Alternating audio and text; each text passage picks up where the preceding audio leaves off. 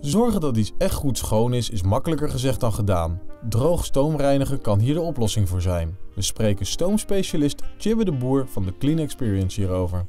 Droge stoom werkt als volgt. We werken eigenlijk met zo min mogelijk vocht om een oppervlakte te gaan reinigen. Dus dat je op een hele eenvoudige manier kunt dweilen en zuigen. Dus uh, door het schokeffect wat de droge stoom creëert op de vervuiling, komt dat los en we zuigen door middel van een zuigfunctie direct de vervuiling weer af.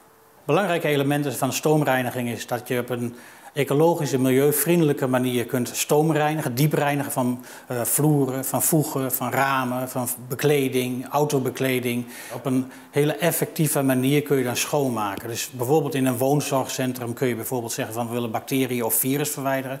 Dat is bewezen dat dat gewoon goed en effectief werkt. Stoomreinigen werkt beter dan gewoon reinigen, omdat je met een dweil eigenlijk van het vuil verdeelt eigenlijk.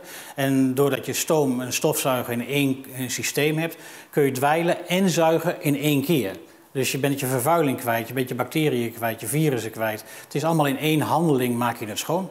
Stoomreiniger wordt veel gebruikt bij, uh, waar hygiëne van groot belang is. Dus bijvoorbeeld bij bakkers, bij slagers, maar ook bijvoorbeeld in de autopoets en autodetailing.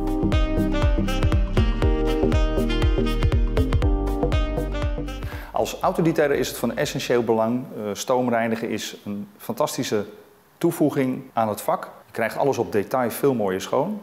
Je kan het interieur en het exterieur grondig schoon krijgen. Beter dan met andere reinigingstechnieken. Je hebt nauwelijks chemie nodig. Nog maar misschien 20% van wat ik daarvoor gebruikte. En bijkomend voordeel is, je werkt stuk efficiënter. Je kan zowel interieur als exterieur op één plek reinigen.